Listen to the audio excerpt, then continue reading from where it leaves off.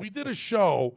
The idea of Sin City Spectacular was a variety show. We wanted to get very disparate uh, people together and put them on a show and make it just crazy. And uh, we had on one show the Enigma, who uh, you might not know, but the Enigma is uh, tattooed blue from head to toe with puzzle pieces, and he has surgically implanted horns. He actually got coral that was screwed into his head. He actually started with silicone and just started blowing it up till he stretched out the skin on the top of his head. Then he had coral inserted into there, screwed in, and then the, the bone was supposed to grow up into the coral so that he would have horns actually on his skull. And uh, I said to him, "Did a uh, did a doctor do this?" and Enigma answered me, he's not really a doctor, but he's really interested in medicine.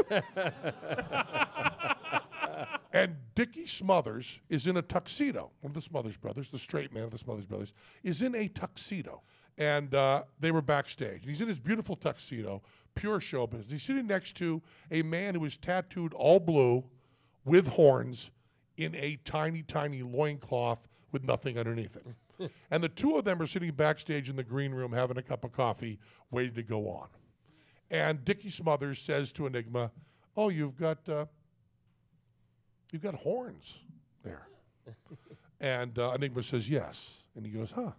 And Enigma goes, "See, I got it stretched out with silicone. Then it's it's coral, and it's screwed into my skull, so that the coral, the bone will actually grow into the coral, so that when I die." And they bury me and I rot and the skull is found a thousand years from now, they will actually see a skull of a human being with horns.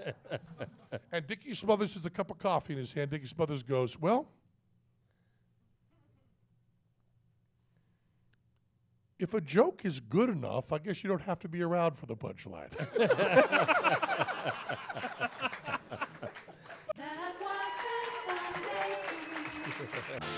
you know I love you.